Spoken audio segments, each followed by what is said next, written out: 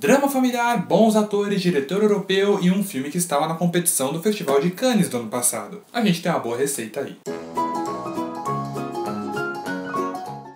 Sejam bem-vindos a mais um pós-créditos. No vídeo de hoje eu falo sobre o mais novo filme de Joaquim Trier, que estava na competição do Festival de Cannes do ano passado e estreia agora nos cinemas brasileiros. Estreia nessa semana, na quinta-feira, dia 7 de abril. Eu estou falando de Mais Forte Que Bombas. Mas antes, aquele aviso importante: neste mês entram cinco novos pôsteres lá no site do Posterity, os cinco novos pôsteres do Acabou de Acabar, né, o canal parceiro aqui do Pós-Créditos, mas enquanto eles não aparecem por lá, você pode conferir os pôsteres de fevereiro e de março. São pôsteres com frases marcantes do cinema em artes muito, muito boas, que você está vendo aí na tela. Os pôsteres estão com 20% de desconto, você escolhe o tamanho que você quer, A3 ou A4, e se você quer com ou sem moldura. É só clicar no link que está aqui na descrição do vídeo para escolher um, dois ou todos os pôsteres aí para decorar a sua casa, beleza? E vamos falar de Mais Forte Que Bombas. Mais Forte Que Bombas se foca na família Reed, que se encontra meio desestabilizada há algum tempo, desde que perdeu a mãe da família, Isabelle Reed, que era aí uma consagrada fotógrafa que morreu prematuramente no acidente de carro. Três anos se passaram desde essa perda e o ponto de partida do filme é uma exposição que vai celebrar aí a vida e a obra da fotógrafa. E com isso a família acaba reabrindo feridas e percebendo que eles não conseguiram muito muito bem ainda lidar com a perda mesmo depois de tanto tempo. A temática do filme e a forma como ela é abordada é muito interessante, porque essa questão da dor da perda, da dificuldade de superar a perda de alguém querido é algo que é abordado direto no cinema, na televisão, e é uma questão muito humana, muito corriqueira que a gente vive no nosso dia a dia, que a gente precisa viver no nosso dia a dia. Né? A gente não gostaria, mas precisa viver com ela. E o fato do filme se passar três anos depois da perda da Isabel Reed já é algo que evidencia uma coisa que a gente só percebe quando acaba acontecendo com a gente. Que perder alguém querido, seja da sua família, seja um grande amigo, é o tipo de ferida que nunca vai cicatrizar de fato. Ela alivia um pouco, a gente consegue retomar a nossa vida, mas de tempos em tempos ela incomoda de novo e faz a gente sofrer de novo. Então perder alguém querido acaba sendo uma das coisas mais difíceis que o ser humano precisa enfrentar, exatamente porque é o tipo de coisa que a gente nunca consegue superar de fato. E o filme aborda isso de uma maneira belíssima, um filme extremamente humano, extremamente intimista. Isso porque o roteiro ele trata essa questão da dor, da perda, entrando ali na mente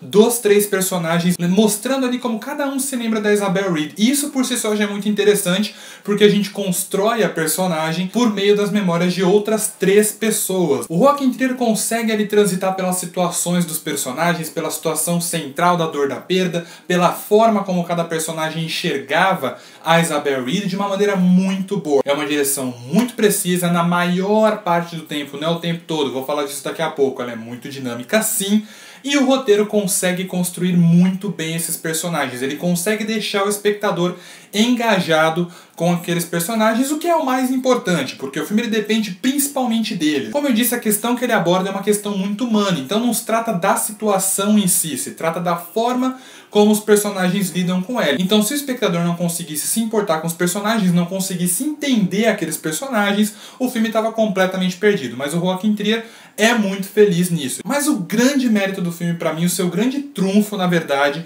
são as atuações Todas as atuações são muito, muito boas. O elenco é conhecido, foi o primeiro filme americano do Joaquin Trier. Foi muito bom e muito reconfortante até ver o Jesse Eisenberg interpretando uma pessoa normal depois daquela coisa histérica e equivocada que ele fez em Batman vs Superman. Então foi legal ver um filme mais intimista, mais calmo, que ele está interpretando ali um ser humano normal. Mas quem rouba o filme todo é o Devin Druid. O rosto dele não me é estranho, mas eu lembro dele em algum outro filme ou série. Sei que ele tá muito bom, o filme tá cheio de atores veteranos, a Isabel Rupert tá ótima como sempre, o Gabriel Byrne também tá muito bom, mas o Devin Druid é quem rouba a cena e é o personagem mais bem construído da trama exatamente por causa disso. Os flashbacks, as cenas ali que se passam na imaginação do personagem vão ajudando a gente a entender um pouco mais do que, que se passa na cabeça dele, porque ele ali é o mais diferente de todos, porque é tão difícil para ele conseguir lidar com todas essas questões. Não só com a perda da mãe, mas com as próprias questões dele, pessoais dele, com todo o turbilhão de mudanças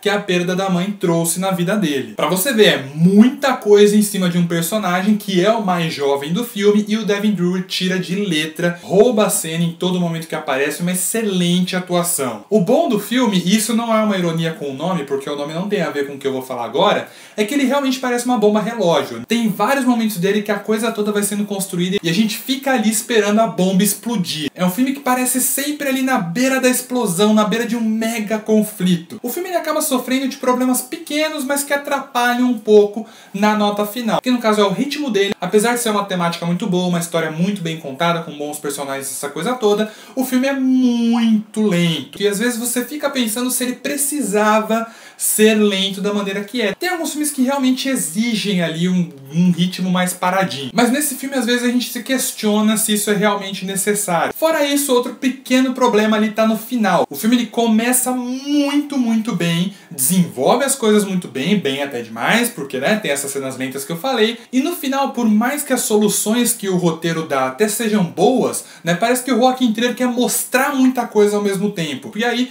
o espectador pode acabar ficando um pouquinho perdido né? Porque a gente tá vendo a história principal, aí vai pro flashback, aí vai pra imaginação e volta pra história principal e vai pro flashback de novo. E, e essa questão do flashback, da imaginação, do presente que a gente tá vivendo ali, é uma coisa que é muito bem construída ali no começo, no meio do filme, mas no final fica meio bagunçado. Como eu disse, as soluções são boas, a forma como elas são mostradas que são um pouquinho caóticas. Enfim, apesar do ritmo um pouco problemático, do final muito carregado, Mais Forte que Bombas é um filme muito bom, um estudo de personagens ali, por meio de uma situação facilmente identificável. Conta, aliás, com ótimos personagens que a gente se identifica porque eles são mostrados da maneira mais humana possível. Não é a obra-prima do Joaquim Trier, nenhum dos grandes filmes do ano, mas é um filme extremamente consistente que vale muito muito a pena ser visto, porque você fica engajado naqueles personagens, por mais que eles não sejam perfeitos, você consegue ali de uma certa forma meio esquisita, até simpatizar com eles. É um filme que leva reflexão, que faz você pensar. Vale a pena ser visto, estreia dia 7 de abril em algumas cidades brasileiras. No caso, São Paulo, Rio de Janeiro, Campinas, Brasília, Curitiba, Salvador e Belo Horizonte. Se você está em alguma dessas cidades, fica ligado na programação dos cinemas. Porque no fim das contas, Mais Forte que Bombas é um filme nota 7,5.